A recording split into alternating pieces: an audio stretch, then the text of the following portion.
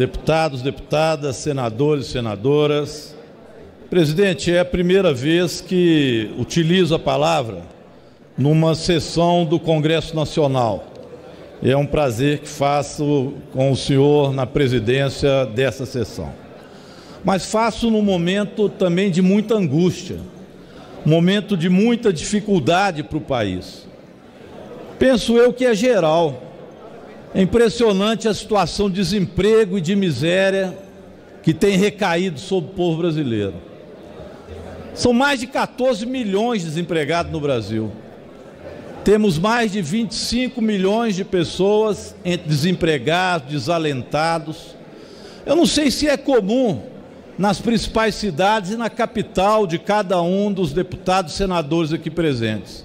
Mas outro dia, descendo em Belo Horizonte um viaduto chamado Viaduto da Floresta, quando você vira à direita, indo para a rodoviária, nós temos lá um passeio, a gente chama de passeio, bastante amplo, grande.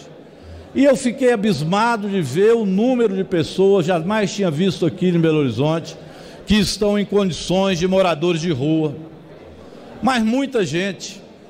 Algo que eu nunca vi nem em piores momentos do nosso país. E digo que já não sou uma pessoa nova. Já tenho 61 anos de idade, já passei por muita coisa. Mas jamais vi uma crise tão grande de desemprego como estou vendo em Belo Horizonte. Nos sinais de trânsito, principalmente depois que nós acostumamos a viver com as pessoas empregadas, com uma condição de vida melhor, com programas sociais. A impressão é que a fome voltou forte. E eu creio que não é só Belo Horizonte, porque eu visitei outro dia, estive em São Paulo e também vi, Rui, muita miséria nas ruas de São Paulo, como também não era costume ver. E creio que deve estar assim no Rio de Janeiro, nas cidades do Nordeste.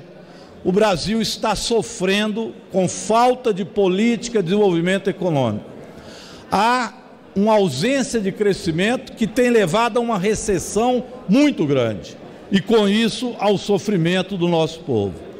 O governo não dá resposta, o governo Bolsonaro, eu nunca vi algo deste tipo, a não ser tomada de três pinos, discussões menores, se tem ou que não tem que diminuir ou aumentar a velocidade em estrada para agradar alguns caminhoneiros, mas a adição de conteúdo não é feita e querem vender a ilusão da reforma da Previdência, que, aliás, parece que não será votada mais nesse semestre aqui, tomara que não, porque o próprio Bolsonaro se incumbiu de ele mesmo sepultar a reforma da Previdência, dando palpites contrários à própria reforma que ele enviou. É um governo completamente sem rumo, desorientado ele próprio. É o que nós temos visto, infelizmente, neste país. Presidente, Vossa Excelência leu agora a CPI do fake news.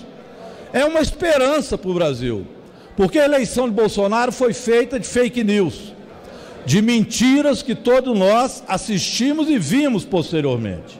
Quando o Congresso Nacional agora faz a leitura e vai instalar uma CPI para verificar o que aconteceu no processo eleitoral, abre-se uma possibilidade do país fazer um debate sério sobre que tipo de governo temos e como esse governo foi eleito. Ninguém mais está com medo dos ataques e de ameaças bolsonaristas, de fechar Congresso Nacional, ameaça de fechar o Supremo, não. Esse governo está enfraquecendo. E ontem, a vinda do Moro aqui mostrou exatamente isso.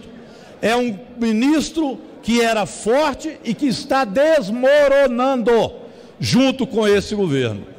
Senhores deputados e senadores, indiquem os melhores quadros para essa CPI do fake news, porque daí vai sair muita mentira que ocorreu durante o processo eleitoral.